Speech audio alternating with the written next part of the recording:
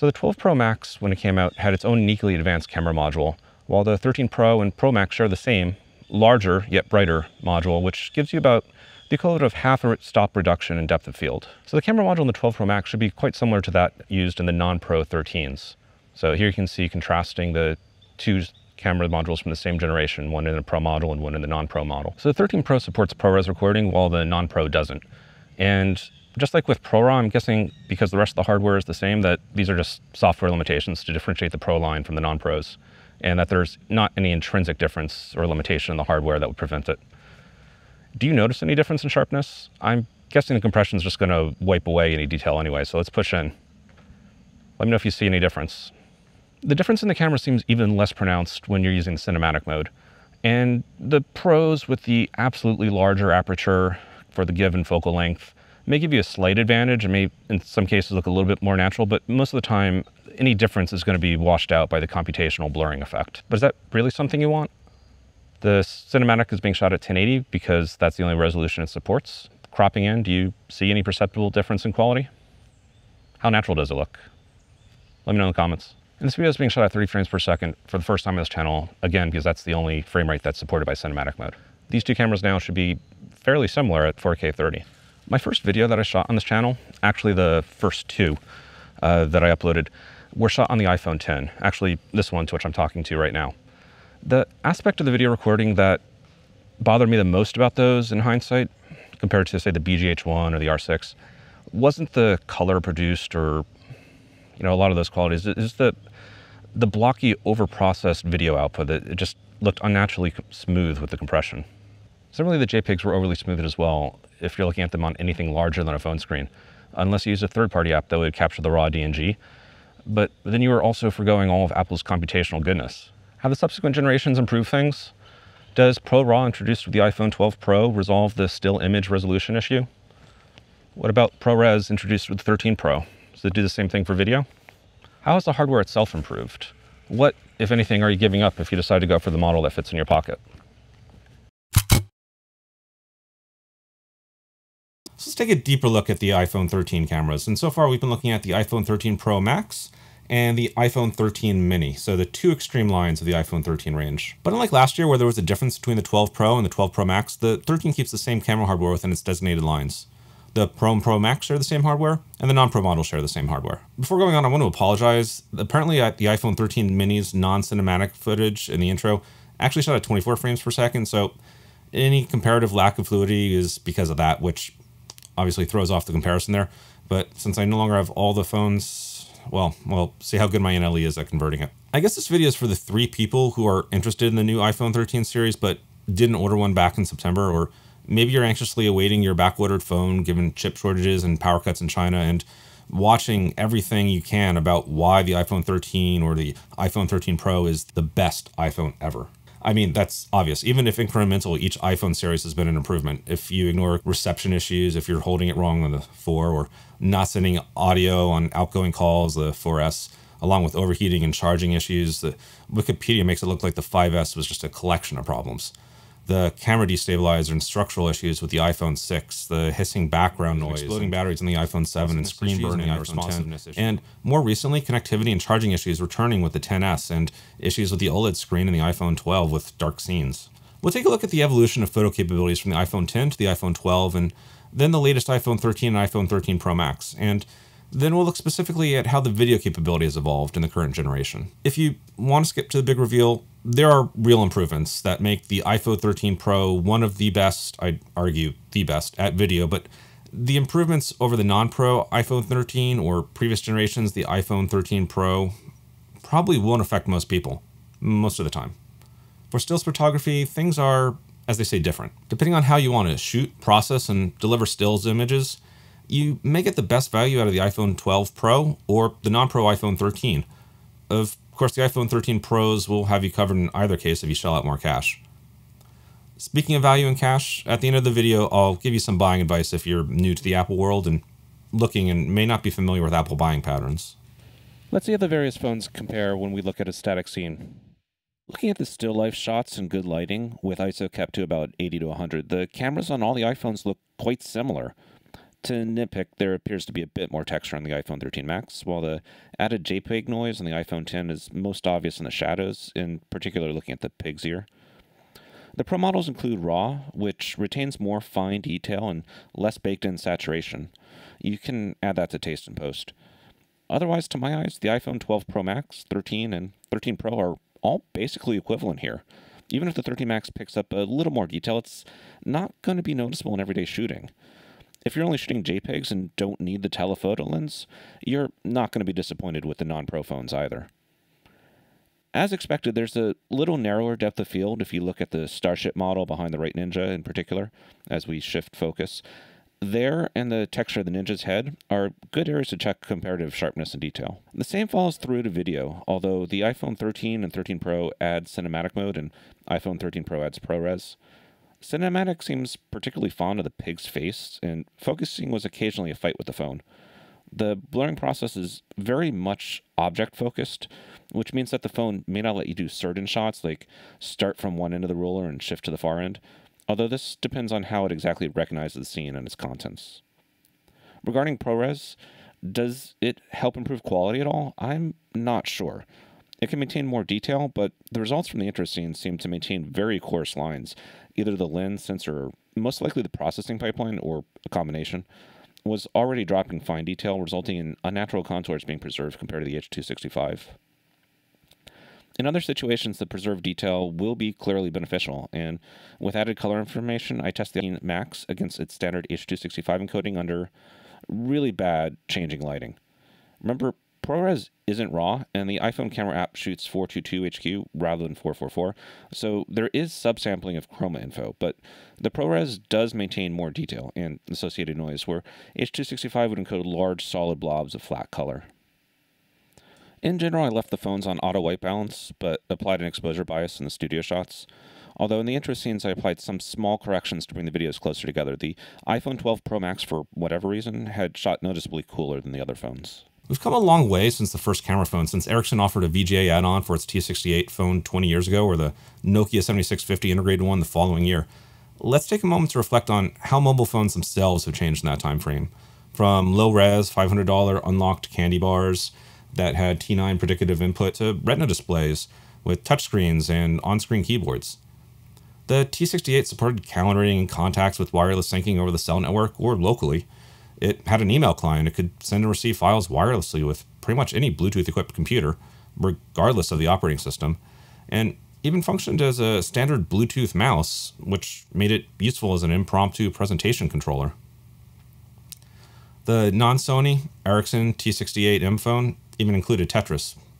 That all changed with the introduction of the iPhone and the modern smartphone five years later when Apple announced its new media device would have a touchscreen at four times the resolution at only about one and a half times the size.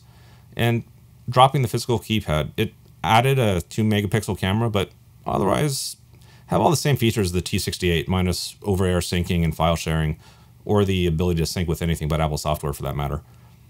And it couldn't be used as an input device to drive presentations or load third party applications, although you know, JME wasn't so hot to be honest, the current Nokia and Ericsson's phones had moved on to S60 with multi-language support, uh, C++, Python, and Perl. And they had nominally 5 megapixel Carl Zeiss lenses, but I digress. Instead of $500 for an unlocked GSM phone where you would need to go through the process of comparing and choosing a carrier separately, with the iPhone, things would be easier, since Apple would sell you the iPhone for $500 and sign you up for a two-year contract with AT&T at the same time. Right. So that's basically a roundabout way of highlighting how little innovation the original iPhone actually brought to the market, at least from the tech consumer point of view. We moved from basically a duopoly between Sony Ericsson and Nokia, which were based on Symbian but with UX and hardware differentiations, to a duopoly between Google and Apple. The experiences offered by other major manufacturers like Samsung don't really drive much themselves, and most of the hardware innovation for Android ends up on dead end branches in the platform's evolutionary tree. I'm still bitter about how mismanaged and directionless Nokia was, where it could have led to a three way push for innovation for a while, or, or that something more productive wasn't done with Palm's IP portfolio. Those are all things that really could have driven more innovation and competition earlier, and potentially driven the platforms to be more open. In contrast, Nokia tried to follow Apple and Google into the world of integrated services, Nokia accounts and app stores, hurting the user experience in the process, which in part because of the features and configurability they supported compared to the nascent Android and iPhone platforms, and more so because they never needed to care before, was already not great. That's the distant past, however. The truth is, most people don't miss the features that got dropped, and carriers have adapted to the subset of features Google and Apple have decided to support, that they've decided are important for the user. A not completely negative inversion of control, but frustrating as carriers remove features that were useful on what are now legacy phones from their network. Seriously, T-Mobile, you're removing the feature that blocks SMS messages that I use with my Nokia because it blocks SMS messages? It's less remarkable that Google Fi is laughably bad with a non-Android, non-iPhone device. In 2004, I remember standing in a Vodafone store in Tokyo staring at the spec sheets of a Sharp phone highlighting its 5 megapixel camera and comparing it to the compact digital I was carrying with me at the time. Rather high end for a compact Pentax Optio 555. When Steve Jobs announced the 5 megapixel camera on the iPhone 4, he said it was going to be the best camera that most consumers would own. Each generation continued to improve, but it wasn't until the iPhone 10 that I really found that the shooting envelope was getting broad enough to consider them as good enough compared to contemporary dedicated devices. The top line specs have gotten better with each iteration, especially since the advent of the not a pro line. And Apple's continued improvements in tweaking of computational photography, the things which were only being done in research settings 15 years ago, and custom silicon to do it efficiently. If anything, this synergy of hardware and software is the biggest differentiator from Apple today and Nokia in 2007, or even the Android's ecosystem. This, on the business and manufacturing side, is where the iPhone was and is most innovative. Common components meant large orders driving down prices and opening up things like touchscreens and time of flight cameras to increasingly cheaper phones. The computational processing that Apple's added, well, some of it is gimmicky. In general, though, a lot of it follows the philosophy of have the system do common things decently that would take a lot of time to do at least as well. There are countless how to's about masking out backgrounds, applying Gaussian blurs to the background layer, sharpen the foreground, then dodge and burn the subject's face, or you could just use portrait mode. Personally, I still find it requires too much thought and awareness to make it useful as a snapshot tool, and doesn't look natural enough to warrant the overt attention and effort. Cinematic mode is the same thing. It's neat that it's there and that it's being worked on, but there are so many limitations, and we'll get back to that. But with its limitations, I don't think it's a killer feature that a lot of people make it out to be. Likewise, ProRes is an interesting addition, but I, I think the iPhone 12's addition of 10-bit Dolby Vision was a much bigger deal. Does anybody actually plan on making heavy use of ProRes as an acquisition format on the iPhone 13 Pro? The extra storage required for the all-intra encodings, the subsequent transfer time, it doesn't seem worth the trade-off compared to creating proxies or honestly just processing H265 if you're working on small projects. Even 10-bit is accelerated on the 11th generation Intel chips, while 8-bit's been accelerated for years. I know the overly aggressive compression is the biggest fault I found with the iPhone's video, but using ProRes as the solution, it's like boiling the ocean to cook a fish. There's been talk about Final Cut Pro coming to the iPad Pro for a couple of generations now, and with the M1 and now A15 chips getting ProRes decode encode support in Silicon, that pretends an iOS or iPad release. Final Cut relies on ProRes to generate proxies, so dedicated silicon for encoding makes sense. And now that the cost to get ProRes into hardware is sunk, adding it to the camera app is cheap and it adds a bullet point to the spec sheet on what has been a generally panned update on the iPhone 12 Pro. It's been 15 years since I was standing in that Tokyo shop considering swapping my dedicated camera for a phone, and with the iPhone 12 Pro and iPhone 13 Pro, we have, in my opinion, the first camera phones that are honestly raising that question again. We've elevated from the iPhone 10's good enough with the integration of ProRAW to devices that return creative control to those who want it and the iPhone 13 adds photographic styles, which adds creative control to those who previously lacked the ability or time to tweak results. Yeah, to me, I see it as gimmicky because I want the raw file, but I also realize that this is a really cool feature for a lot of users who, at most, might just want to apply a preset curve. They can dial in their preferences and not need to do any post processing to get the look they want consistently. Of course, dedicated cameras, even ultra compacts, have had the ability to control things like saturation, contrast, and sharpness for two decades, and the iPhone 13 Pro's camera still lags behind the Android based Panasonic Lumix DMC CM1 from 2014 in terms of sharpness, depth of field control, configurability, and user interface if you're looking for a raw image and not needing night mode. I know some people, and videos have found the iPhone's interface easy to use and intuitive. And while it's much improved since getting the iPhone 10, you can now set an explicit exposure offset, for instance.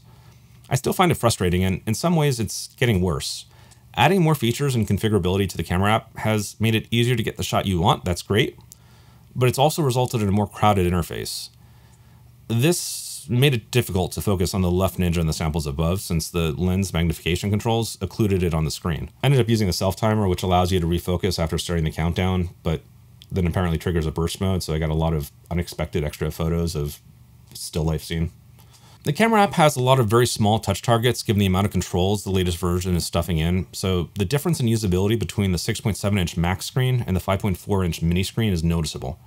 It's more frustrating dialing in the precise value you want with kinetic scrolling, or you might mistakenly change the wrong setting, like frame rate, without realizing it registered as a tap. You can set certain options to always reset to a default value when you initially open the camera app, although with the Pro models, there are some options which conflict with each other, which can be confusing.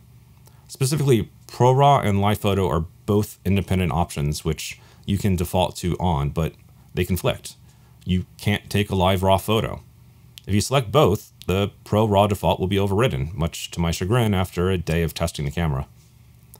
I would have rather had it recognize the Pro RAW option and then default to live photo when the RAW was disabled. To me, that's the only way these make sense as separate options rather than as a single select option. But I'll admit, Apple UX designers and I, we often don't see eye to eye. Otherwise, there wouldn't be liftoff movement on kinetic scrollers. To summarize, it's not as good a stills camera as the DMC CM1, but I've already done a video on why that doesn't really matter. Let's get back into the video features. And before we talk about cinematic mode, let me just highlight that the picture profiles you can set for stills do not carry over to video, which is a disappointing omission especially since there's no raw option for video and, and the Apple Standard profile is going to be baked in as your only option. Speaking of carrying over, I'm mixed on how many settings are mode specific. I feel like especially the exposure offset should be global. If I'm shooting a snowy scene or other scene that is biased away from middle gray, if I'm switching from photo to video to cinematic, I, I need to update the exposure bias three times, one for each of those modes. This means one more thing about which to worry, focusing on exposure each time you switch modes means you might miss a shot. And honestly, it was the reason why I did not check the frame rates when I did the intro videos. For that matter, while we're on the subject of switching settings, I really wish there were an option to hide the certain modes that you don't want to use. Things like the panoramic mode, which somehow I find the phone opening into, I guess because I swipe the screen too hard from the right and which leads to all kinds of levels of frustration as I realize I'm not actually taking the photos that I thought I was. Right, what else is wrong? Well, let's look at syncing. I've updated my PC to Big Sur 11.6, which is currently the most recent release of macOS, and I've been updating iOS 15.0 on the phones, and the photo sync is frustrating. What I expect is plug in the device, hit import all, and delete after import, and all the media, photos, and videos taken on the phone will get copied to the PC's photo library and removed from the phone, just like it says, import all, delete after import. Taking videos on the 10 and 12, or photos in ProRAW on the 12, or JPEGs on either, and that's exactly what happens. Special media doesn't get removed, however, since presumably macOS Photos app doesn't fully support them. Bursts and portrait mode appear to be left behind, but the show is already imported. Worse, cinematic seems to be ignored. It doesn't appear as something that I can copy off the device. So let's get to cinematic, how it works, and how you work with it. Here we are, back to cinematic. We haven't really talked about it. When I first used the portrait mode on the iPhone 10, it was clearly inferior to a physical low depth effect. It seems some critics have warmed to it, but I still find the effect to be difficult to pull off if your subject isn't well isolated already. Even then, it often looks alright on a 6 inch screen held at arm's length, but on a larger screen or at a 4x6 print up close, there are jarring boundary effects that ruin the effect. Cinematic mode is the same way. First off, it's worth noting that you have some limited creative control on device after capture to adjust focus and depth of field from the Photos app on the phone. If you find the effect particularly jarring, you can increase the depth of field effect to smooth out the transition from in focus to out of focus areas. With respect to focus adjusting, unlike a Lytro camera, which captures the light field or multiple angles of light, the underlying lens of the iPhone has one actual focus point and post-capture adjustments will be limited to tweaking the computational blur on top of that. It may be obvious, but I don't like the cinematic effect. At its default wide aperture setting, it's particularly awkward, with parts of the image being unnaturally blurred in changing ways that just don't physically work. Adjustments can snap in and out like a wipe rather than a smooth pull. It just doesn't look good in my opinion. With the increasing size of the 13 Pro sensors and resulting larger absolute aperture, the actual physical effects, in my opinion, are a reasonable trade-off. If you're shooting on a multifunction device, you need to realize the trade-offs in the standard video and photo modes on the iPhone 13 Pro are impressive in that context. Cinematic mode videos have other issues as well. It doesn't seem like the photo app in Big Sur, at least on my Intel-based 16-inch MacBook Pro and Mac OS 11.6, understands cinematic videos. It doesn't see them as valid files for syncing when I plug in the iPhone 13 or iPhone 13 Pro. It's as if they don't exist. Instead, how I found I need to transfer them is via AirDrop from the phone to the laptop. The first time you try that for a video, it'll tell you that the video needs to be processed, which can take a while. It creates a standard QuickTime video with the depth of field effect baked in and no longer editable on the target device. If you edit the original video on the device and change the depth of field effect or change any of the settings, you'll have to reprocess the video and it'll take a while again and send it back out. Interestingly, in iOS 15.1, if you connect the iPhone to sync, it'll bring up a dialog indicating that some videos need to be processed, but the videos don't sync yet, but this seems like a limitation that will eventually go away, possibly before final release. If you sync photos via iCloud, that may also be a workaround, but I have that disabled given the lack of end-to-end encryption and there's some contentious upcoming changes in iOS 15 related to iCloud PhotoSync. The iPhone 13 continues Apple's relatively recent focus on serious image capturing capability. No, it won't replace pro rigs, and yes, of course, you could use it professionally. Should you get one? I don't think either Cinematic or ProRes are worth upgrade on their own. I think night mode is still the best use of computational imaging on the iPhone. It's effectively a smart blending of several images, and the end results look natural beyond aggressive noise cancellation and unavoidable movement. For the first time, the telephoto lens on the iPhone Pros are also capable of night mode. If you found yourself taking lots of shots at night, zoomed in, it may be worth the upgrade. But before you jump in and raise your hand, let's look specifically at the telephoto lens on the iPhone Pros. The iPhone 13 now has the field of view equivalent to a 77mm lens on a 35mm film camera. That's a nice bit of extra range compared to the 65mm on the Pro Max, now a 3x zoom versus 2.5x zoom, and just past the far end of the quintessential 2470 standard zoom. If you currently are using the non-Max iPhone 12 Pro, well, this may or may not be what you want. The iPhone 12 Pro had a 2x telephoto lens, or a 52mm equivalent, which is just a bit longer than a normal. If you happen to believe the Nifty 50 is the ideal field of view to capture scenes, the upgrade to the iPhone 13 may be a disappointment. If you don't care about the telephoto lens, what about the non-Pro line? The iPhone 13 essentially has the best camera, the best sensor lens and image stabilization from the previous generation. You just don't get the Pro RAW functionality. You get to tweak the picture style for the first time on an iPhone. You get a better battery, and if you like the size of the Mini, it's probably going to be the last Mini you'll be able to order. So there's that. Personally, while the Mini's small screen makes changing settings in the app frustrating, it's still my favorite form factor. The Max is useful if you're using it mostly as a controller for other things in a semi-mobile manner, e.g. controlling a DJI drone. The big bright screen gives you a better view of the remote images and the has big easy touch targets. I don't much care for the middle of the road size, which I still find too big, but unfortunately is rumored to be the most pocketable size going forward. There are pretty significant improvements over the pre-12 phones. The introduction of Pro RAW alone would be a reason to drive adoption from an earlier model to the current Pro models. While night mode, improved image stabilization, and light capturing ability would all be reasons to upgrade to either the Pro or non-Pro models. All right, so what's the best way of buying a new iPhone?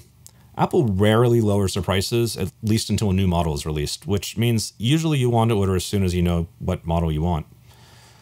Towards the end of a model year, third-party sellers, mobile telecoms, companies, or other authorized resellers may start issuing some discounts. So it's worth checking out those options if you're getting to that point in the year, but only buy from an authorized reseller or directly. There's a lot that can go wrong from authorization locks to poorly done refurbishments.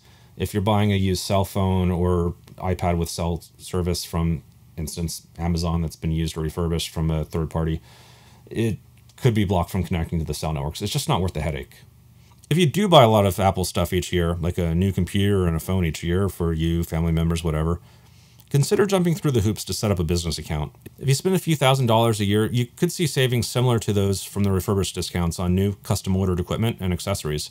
If you don't generally spend thousands of dollars, Apple's refurbished store is a good place to look. Unlike third party sellers, if you buy a refurbished from Apple, you can still walk into an Apple store, get it repaired, and chances are it's actually been better tested than anything that's been new. Finally, recently, Apple and wireless carriers, at least here in the US, have been offering seemingly unreal trade in deals. For instance, I could trade in my iPhone 10 with its degraded battery for a new iPhone 13 mini at no cost after trade in and via bill credits, and without any form of carrier lock on the phone, unlike buying directly through Verizon or financing via AT&T. The trick with saving money on the trade-ins in recent years has been to stick with the base models. 128 gigabyte iPhone 12 Pro Max gets the same rebate as the top of line 512 gigabyte model. And depending on what provider you have, incentives might even mean that it makes sense to upgrade within a year. If you're on T-Mobile's Magenta Max and have a base model iPhone 12 Pro Max, you're looking at over $1,200 in trade-in values and statement credits, which is enough to cover a new iPhone 13 Pro Max and likely the tax. Even with lesser incentives, it may be worth considering the comparative costs of a battery replacement or add-ons of Apple Care if, depending on the age of your device or how long you plan on holding it if you're buying it new. The iPhone SE is unfortunately getting a bit behind in terms of features and supported wireless frequencies, but if you aren't looking for the pro features, a refresh there, which hopefully comes soon, could be an economical option. Apple's selling a non-pro iPhone 12 and iPhone 12 mini at a $100 discount. For $100, I'd lean towards the iPhone 13 with the larger battery and better camera, but you likely can find or will find better discounts from other authorized sellers or Apple's refurbished stores. I don't think the iPhone 11 is a good value. Remember, the base model here is 64 gigabytes, meaning Apple's only discounting at $50 from the iPhone 12. Of course, the other way to save money is just not buy into the cycle to begin with. Thanks for watching. I'll see you next time.